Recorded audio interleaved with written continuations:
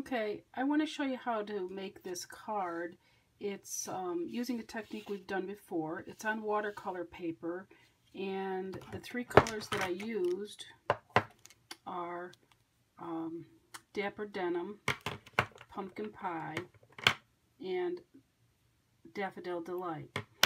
Um, now if you'll notice on this card, I got the three leaves from the Colorful Seasons set they're the open leaves stamped. And I embossed them in white first. But I didn't get them lined up, so there's my mistake. So how do you get them lined up? Well, I decided to use the MISTI, and I'm going to show you how I got that to get them lined up. So here's the MISTI, and you can see that I put the leaf stamp right basically in the center. My cardstock was cut at four inches by five and a quarter. So I have a quarter of an inch around the edge of the card. So what I did was I took a scrap piece of paper. Actually, I just put, this orange piece is just typing paper, like, um, anyway, and I cut this the size of the MISTI at six and a half by eight and a half. And I laid it in here first because I wanted to find out where I have to put this cardstock. So what I did was I put the card in and I stamped the first leaf going down in the center just like this. Once I had that placed there, then I traced around it. I just took a pencil and I traced around the entire piece of cardstock. And then to give myself some references, I wrote top, bottom, and number one, because that's the first stamping. Then I needed to get the leaf upside down. Well, without changing it, I'm going to turn the cardstock around 180 degrees, and then I laid the um, lid down to try to figure out where it would fit and to line up straight across the cardstock. Well, I found out it would be right about there, so then I opened the MISTI and I traced around this side of the cardstock and now it's hanging out the edge and it won't hurt it at all to hang out the edge there. Because once it's down it'll just lay flat in there. You won't get any creases or anything like that. So of course then I put the number two in the top and the bottom there.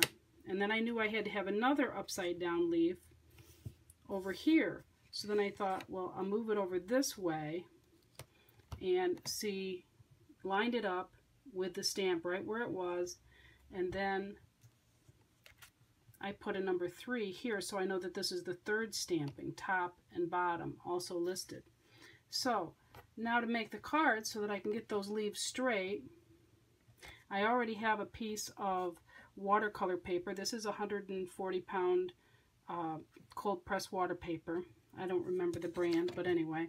So the first time I put it in and the reason this is difficult to do is because your Versamark, my Versamark, if it's clean, doesn't leave any impression. And I've already treated this uh, paper with um, anti-static powder. So I'm going to take my Versamark and I'm going to stamp it first on one.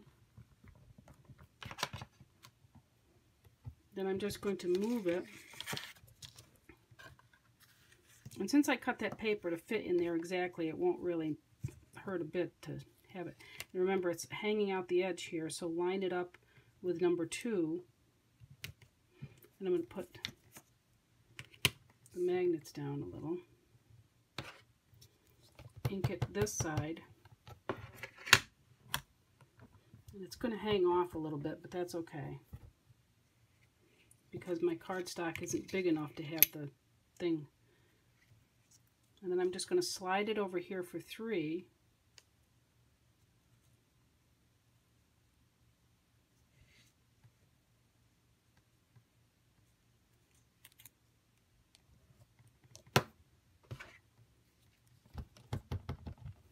And get there. So now, I have all three of them stamped on this watercolor paper. I'm going to heat set, I'm going to uh, put some white embossing powder on this and then I'll heat set it and I'll be right back. Okay, now I don't know if you can see those. Well, yeah, you can. Uh, they are white, so I embossed them in white and then I'm going to put the ink on them. So I'm going to show you how to do that. I'm going to take the acrylic block. This is Stampin' Up's acrylic block E. Um, And I'm going to take the markers and I'm going to put the color right on there.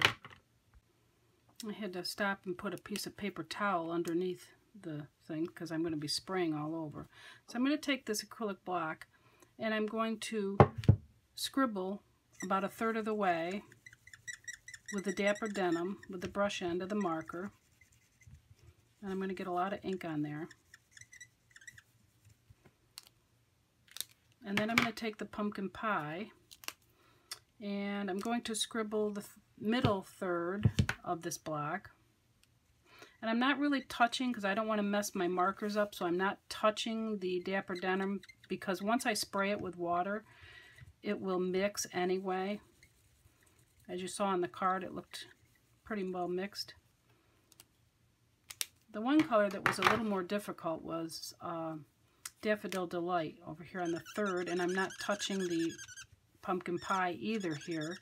I'm just, but get quite a bit out here on the end because for some reason the Daffodil Delight is so light that it didn't always work really well. So now I have the Misty sprayer here. I just have water in here. And I'm going to mist this block Hopefully you can see that, how much water I put on that. About three, three mists. And now the trick to this is once I put this down here, and we've done this before, but once I put this down here, okay, I'm going to put the blue on the left, and I'm going to press it into the paper, and I'm going to leave it there. Now this is the worst part is because you really have to wait about five minutes if you want some really um, uh, vivid colors. You got to let that soak into that paper. So really what I'm going to do is I'm going to leave it there. Now you'll notice that the white embossing might look colored, but it'll wipe right off afterwards. Okay, so I'm going to let this sit for five minutes and just uh, we'll be back. Okay, this is set here long enough. So I'm just going to pull the black off. As you can see, it's pretty vivid. And um, if you want, you can always take a water brush and brush through here a little bit to get a little more color. Up to you. I like a little more color. Also, then I'm going to go through and wipe off the embossing so that there's no color on it. You can see that it's cleaning it up a little bit as I run the brush through here.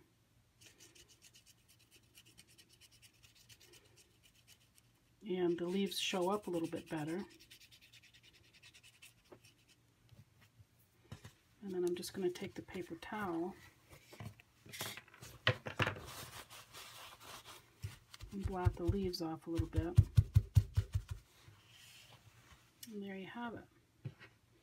Now, what I did was I just stamped the thinking of you on a piece of scrap white in uh, Memento Black and I just cut it out with scissors. You could die cut it. Just kind of did it at an angle like that.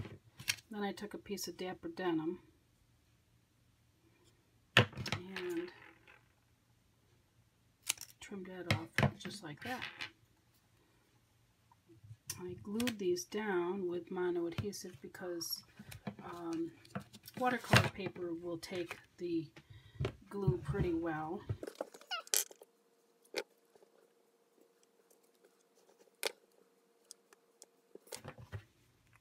Then I just affix this on the front of a vanilla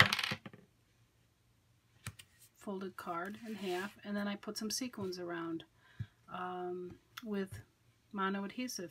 You could use um, Crystal Effects or um, the other one by Ranger if you want whatever you want there. Just put it like that. Thanks for watching